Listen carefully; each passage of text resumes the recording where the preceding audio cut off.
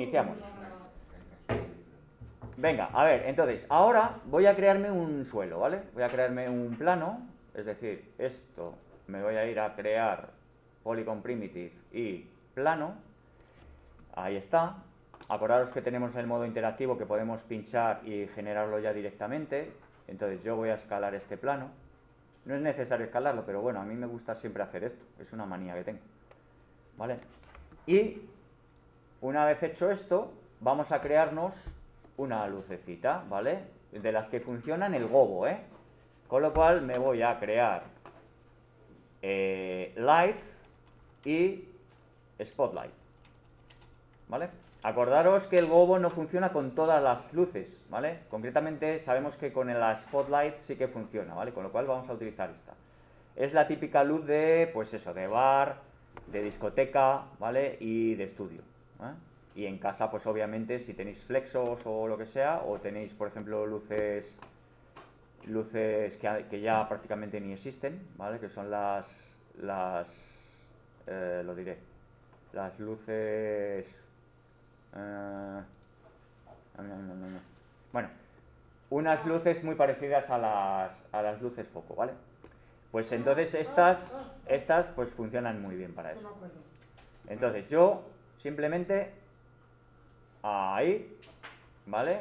Para redirigir la luz. Me pongo en modo sombra, en modo luz, ahí, ¿vale? Acordaros que atajo de teclado es el 6, eh, 7, ¿vale? 7 para eh, luz, 6 para no luz y texturas, ¿vale? Podéis utilizar también el 6. Eso es. 5, 6 y 7, ¿vale? Eh, digamos que el 5 sería no texturas, es decir, sombreado, 6 sería texturas y 7 sería luz, ¿vale? bueno, entonces sí que es interesante que esto lo tengáis así para ver dónde está chuflando el, cono, ¿vale? Bueno, si nos vamos al Attribute Editor, pues desde aquí ya podemos variar lo que es el cone angle, como podéis, ¿vale? Por cierto, ahí, vale. Eh, y el penumbra angle. Nos dejan el 7, ¿verdad? El... ¿El cuál? ¿Cuál te has quedado de, de modo? ¿El 7? Eh, sí, sí, ¿vale? Si tenéis alguna duda, el, el icono está aquí. ¿Veis que aparece como una bombilla? Sí. Esto lo tienen todos los visores, ¿vale? Entonces simplemente lo activáis. Bueno, pues entonces, ahora, si yo hago un render, obviamente, acordaros que Arnold mm, sí va a mostrar algo, ¿vale? Pero no va a mostrar chicha. Con lo cual, pues ya sabéis cómo, cómo hay que hacerlo. Nos vamos abajo, no lo hagáis desde aquí, ¿vale? Porque esto simplemente solo es para el cone angle y el penumbra angle, ¿vale? Y el drop off, ¿vale? Que acordaros que es desde el punto central, pérdida de luz, ¿vale? Porque normalmente si esto está a cero, lo que hace es que te va a coger el cone angle y ahí te va a meter la intensidad, ¿vale? O la exposición. Pero este de aquí lo va a hacer desde el punto central, ¿veis? Y va a empezar a hacer pérdida, ¿vale? Bueno, vamos a dejar el drop off a, a cero. Entonces, aquí nos vamos para abajo, nos vamos a la pestañita Arnold, ¿vale? Y en la pestañita Arnold es donde vamos a eh, trastear, ¿vale? La exposición. Acordaros que este es el f-stop de, de, una cámara, ¿vale? Lo que quiere decir es que cuando estáis utilizando este, lo que estáis haciendo es un factor multiplicador, ¿vale? En, en cámaras fotográficas. ¿Vale? Entonces aquí simplemente si le doy a 1 lo que te está haciendo un factor 10 de multiplicación de intensidad. ¿Vale? Si hago un render, veo que ahora sí ya empiezo a notar ¿vale? diferencias. ¿vale? Lo que pasa es que normalmente tenéis que subir a nivel 5 para empezar a, a notar algo. ¿Vale? ¿Veis? Y, yo, y luego ya pues es depende de la tipo de, de la cantidad de luces que tengas, ¿vale? Porque esto siempre hay que, hay que graduarlo con respecto a la cantidad de luces, ¿vale? Bueno, eh, ¿qué es lo que vimos? Pues que nosotros muchas veces nos va a interesar ver volumétricas, ver un cono de iluminación con haces, ¿vale? Con lo cual, ya sí que sí o sí, y esto es así en Arnold, hay que crear atmósfera, ¿vale? hay que crear atmósfera. Con lo cual, lo que hacemos es directamente, esto no se hace desde aquí, ¿vale? Desde, desde esta ventanita, desde las propiedades de la luz. Lo tenemos que hacer desde las propiedades del render de Arnold, ¿vale? Tenemos que irnos a Display Render Settings, ¿vale? Esta, esta ventanita, este, esta claqueta con este engranaje es el Display Render Settings, ¿vale? Que tiene su menú, obviamente, pero que lo hacemos desde aquí mucho más rápido, para no tener que perder el tiempo.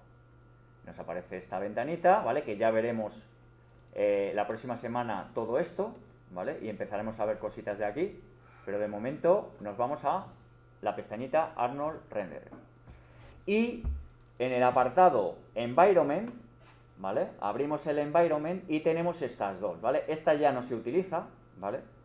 Porque antes eh, de que se implementara Arnold Render, pues eh, existía esta para poder hacer estos efectos, que los hacía más para allá que para acá, pero bueno, era lo único que teníamos. Pero ahora ya con Arnold, pues obviamente no vamos a hacer el, el paripé y nos vamos a ir aquí, ¿vale? A atmósfera. Y aquí simplemente lo que vais a hacer es pinchar este checker. Tenemos dos maneras de crear atmósferas, ¿vale? Aquí. A mí me salen tres. ¿Y qué, cuál es el otro? Crear ahí atmósfera, crear ahí fog y crear ahí estándar volumen. Volumen estándar. Pero tú tienes instalado el qué, la versión 2019, ¿no?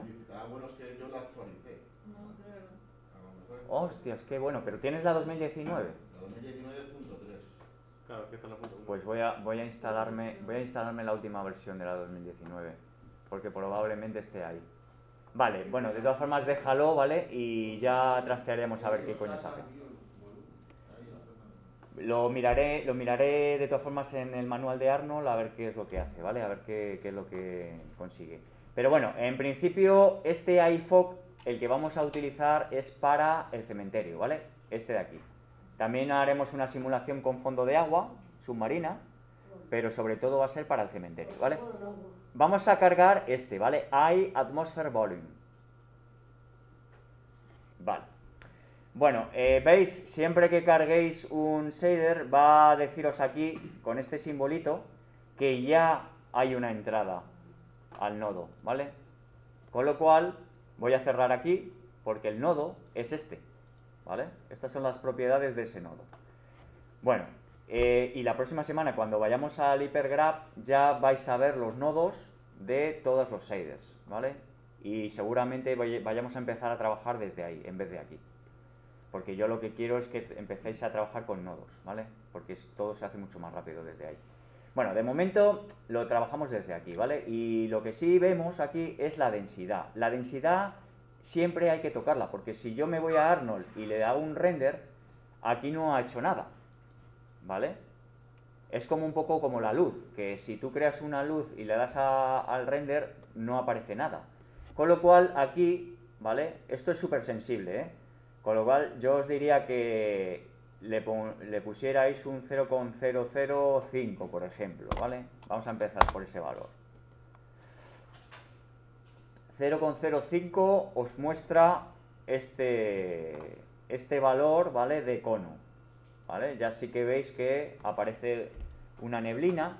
Obviamente esto siempre tendréis que hacerlo con una escena, ¿vale? Con una escena con objetos. ¿Por qué? Porque cuando creéis atmósferas eh, van a aparecer iluminación de los objetos por alrededor, ¿vale? Y cuanta más atmósfera pongáis, cuanta más densidad pongáis, más contaminación, más partículas. Con lo cual, menos se va a ver la escena, ¿vale? Entonces, esto es un truco también. ¿Por qué? Porque hay veces que no sabemos texturar o habéis modelado mal y esto nos va a permitir mm, integrar más la escena y que es- no aparezcan errores en el modelado y en la textura, ¿vale? O sea que esto es un, la verdad, si os, alguna vez os pasa que no tenéis eh, mucho tiempo y hay cosas que no queréis corregir porque no os da tiempo, pues utilizar este recurso, ¿vale? De atmósfera para, por así decirlo, camuflar, ¿vale? No es, es que matas dos pájaros de un tiro. ¿Por qué? Porque no solo estás, por así decirlo, ocultando cosas, sino que además estás integrando más la escena. ¿Vale? Pero bueno, esto es hablar por hablar si no tenemos nada, ¿vale? De momento simplemente que, que sepáis eso, ¿vale? Eh, 0,05, ¿vale? 0,005, ¿vale? Es muy sensible. Si le ponéis uno ahí no se va a ver nada de nada. Que eso va a ser como en la ciudad de, de San Francisco lo que está ocurriendo ahora, ¿vale? Que es que no se ve nada. ¿Qué pasó? Ya te enterarás. Sí. Bueno, pues entonces, aquí tendríais el color, ¿vale? Obviamente, esto se puede hacer en pospo, ¿vale? Pero que sepáis que aquí eh, podéis ponerle ese tipo de color como simulando pues un pues una eh, una temperatura, ¿vale? Una temperatura de, color, ¿vale? En su caso, pues eh, si somos una discoteca, pues obviamente una gelatina o cosas así, ¿vale? Le voy a poner a blanco, así. Bien, y la atenuación, ¿vale? Que la atenuación normalmente eh, es la pérdida, ¿vale? De, de esto. Pero esto no tiene mucho sentido si no tenéis cosas alrededor, con lo cual lo dejáis así. Anisotropia sería un deformador de la luz que normalmente es como si tuvierais una lente eh, en el foco, ¿vale? Y deforma la luz. Hace que, mm, por así decirlo, que genere un efecto, un efecto como, como si tuviéramos luces físicas, ¿vale? Ya sabéis que los fabricantes generan una serie de luces, ¿vale? Para, dependiendo qué, y esas, esas esos, eh, esos luces generan unos efectos, ¿vale? Pues esto podríamos jugar con estos valores para generar ese tipo de, efectos de, concentración de luz, ¿vale? De- pero bueno, es muy artístico, ¿vale? Más que, que real. Y el número de samples, pues sería la calidad, ¿vale? Para no generar tanto grano. Bueno, eh, vamos allá. Yo quiero, por ejemplo, imaginaros que mm, esta luz, ¿vale? Pase a través de un objeto translúcido o transparente, ¿vale? Vamos a hacerlo. Entonces, yo aquí simplemente lo que voy a hacer es girar un poquito la luz, la voy a, la voy a colocar en el eje X un poquito más atrasada y la voy a rotar, ¿vale?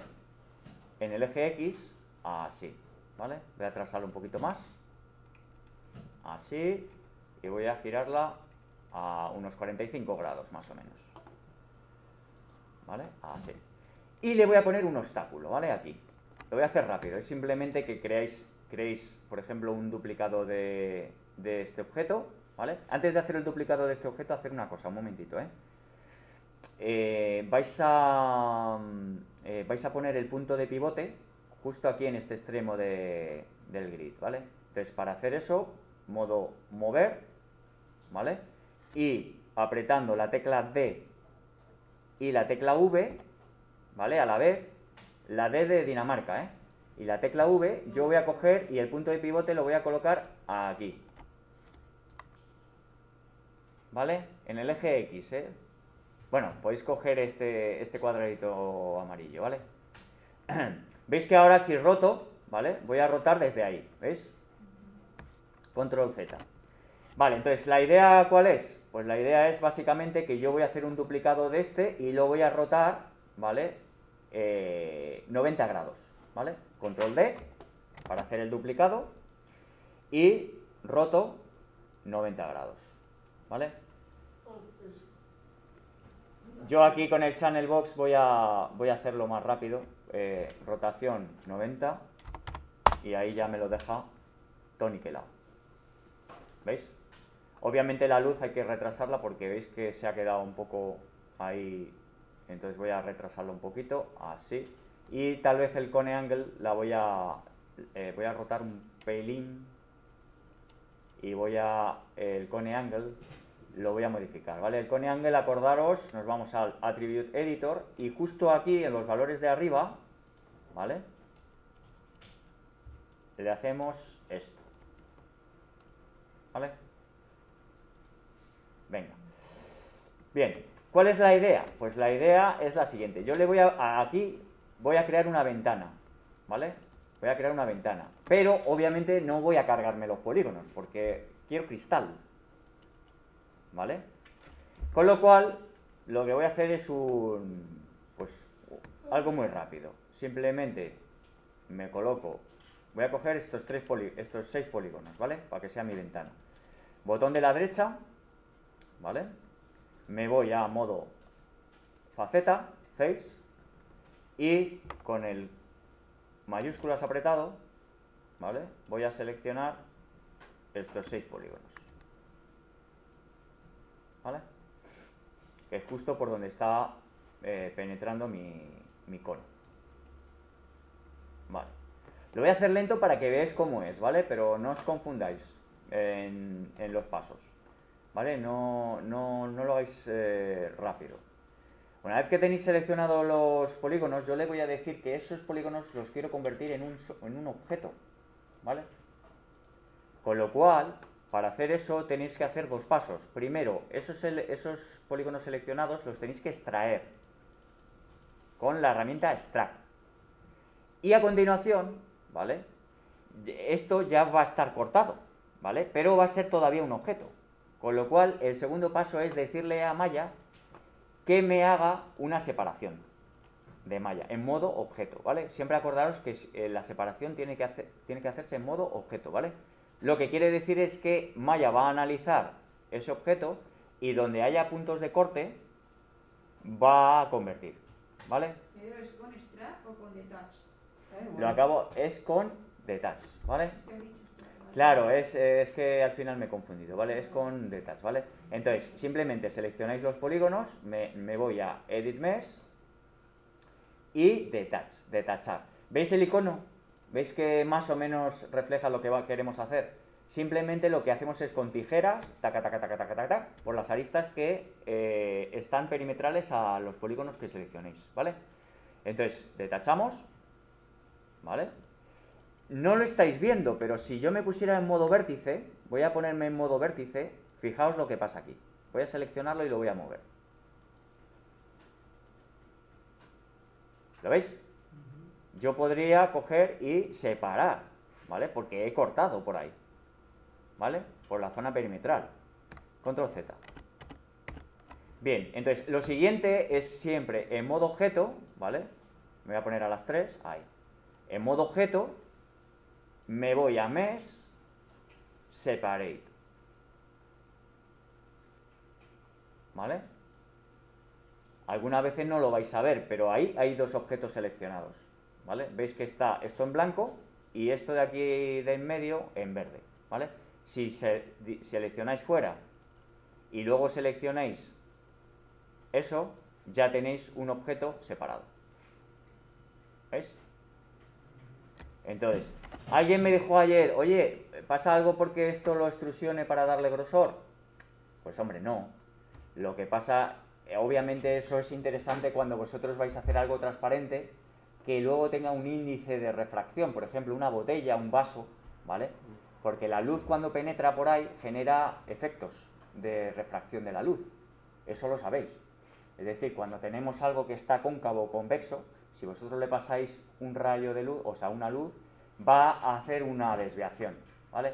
Porque no es aire, ¿vale? Entonces, al final, por efecto de refracción, ¿vale? Eh, pues lo va, lo, va, lo va a generar ese efecto, ¿vale? Que normalmente suele ocurrir en los cristales, ¿vale? Bueno. Ahora, transformaciones. ¿no? Efectivamente, y hay una cosita que hay que hacer, siempre acordaros, porque cuando nosotros apliquemos una textura, este objeto no tiene coordenadas, ¿vale? Pero lo vamos a hacer ahora, primero lo primero. No voy a hacer la extrusión, ¿eh? simplemente voy a dejarlo así. Esta es la pared, esta es la ventana. Y de hecho, me voy a abrir el outliner y lo voy a, lo voy a renombrar, ¿vale? Este, pared, y este ventana, ¿vale? Y así ya en el outliner ya no me lío. Y este suelo.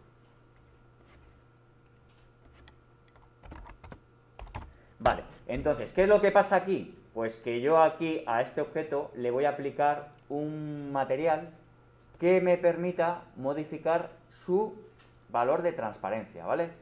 que en Arnold, acordaros, no se llama transparencia, se llama transmisión. Muy bien. Vale, pues entonces, cogemos el objeto, ¿vale? Nos ponemos encima de él, botón de la derecha, y nos vamos a asignar nuevo material. ¿Vale? Vamos a poner aquí. Vale. A ver, cualquier material nos, nos valdría porque el blink, por ejemplo, ¿vale? Podríamos utilizarlo para, realmente para los cristales se suele utilizar el FON y el FON E, pero son materiales de malla, acordaros, ¿vale? ¿Y qué habíamos dicho? Que vamos a utilizar materiales Arnold, ¿vale? Para ir acostumbrándonos a él porque son materiales optimizados y nos permiten hacer jugar mejor con él y hacer cosas más interesantes, ¿vale? Con lo cual nos vamos a ir a Arnold Shader y dentro de Arnold Shader vamos a aplicar el material estándar, ¿vale? Ahí Standard Surface, ¿vale? Cuidadito con las versiones de Maya, porque la versión 2017, por si acaso os encontráis un 2017 por ahí, no se llama así, ¿vale? Porque esto ha cambiado con el Arnold 5, ¿vale? A partir de Arnold 5 se llama así, y esto está un poco cambiado, ¿vale? Entonces, bueno, que lo sepáis, sobre todo que no os mosqueéis y digáis, coño, que esto no es como me lo han enseñado. Eh, ¿Has dicho pintar antes de? No, no lo he friseado. Lo que pasa es que lo puedes hacer ahora. Básicamente, si- eh, a ver, frisear no se frisea, ¿vale? ¿Por qué? Porque acabamos de crearlo, el objeto. Entonces, cuando creamos un objeto, ¿qué es lo que pasa? Porque está friseado. O sea, porque está en el nivel 1 de su historial. Y no ha, no ha habido movimientos ni ha habido nada, no ha cogido valores. O sea, si yo selecciono la ventana y me voy aquí a Channel Box, está a cero. ¿Vale? Con lo cual yo puedo mover esto, ¿vale? Yo lo muevo, ¿veis que está cogiendo valores? Entonces ahora sí yo podría coger y decirle Modify Reset. Y se colocaría en su sitio, ¿vale?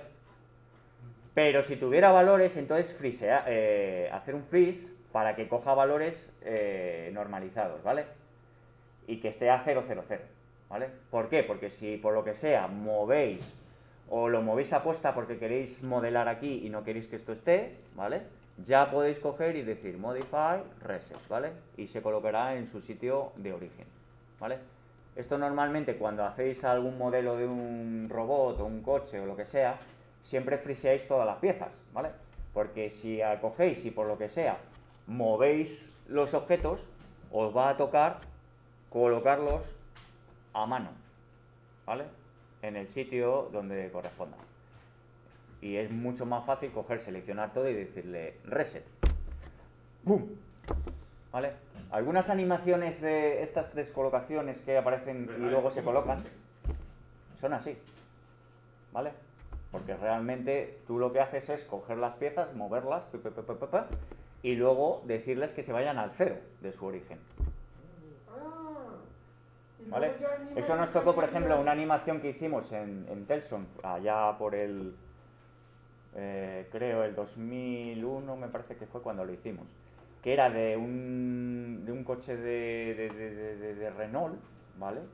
Y teníamos que despiezar un motor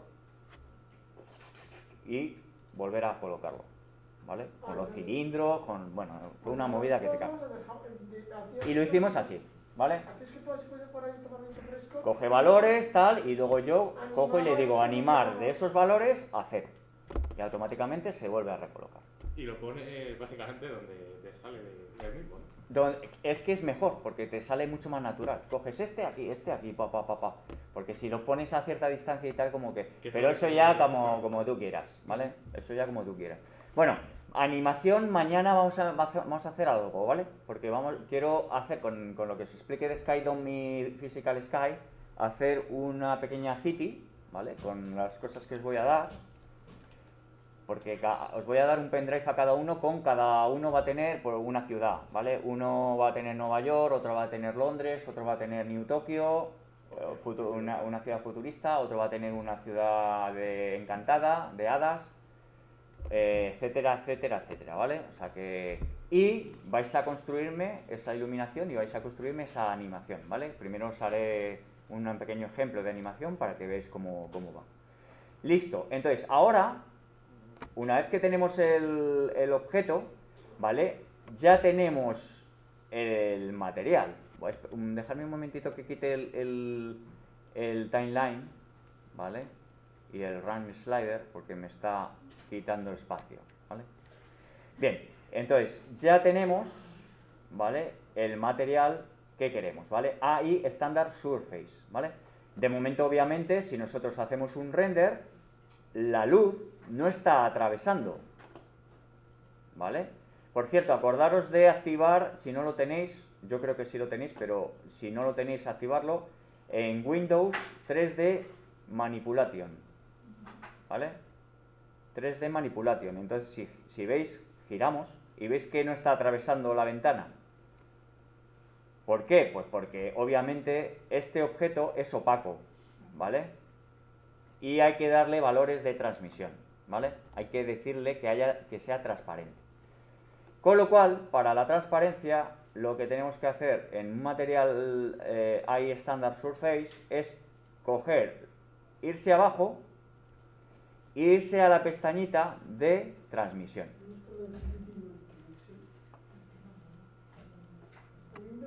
¿Vale? Voy a, apartar un poquito el offliner. Ah, sí. No, ¿dónde está el 3D manipulation? ¿Lo ves? Eh, pues mira, si te vas aquí al render y te vas a Windows, Ah, Aquí. vale, vale, vale. ¿vale? Eh, en principio si lo activas, luego ya para la siguiente vez ya la tienes que tener activo, ¿vale? O sea que normalmente no lo tienes que hacer dos veces.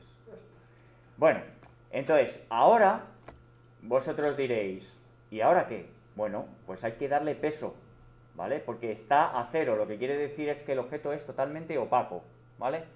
Entonces, si yo abro el Arnold, ¿vale? Vamos a dejarlo así, y cojo desde aquí y hago esto, fijaros.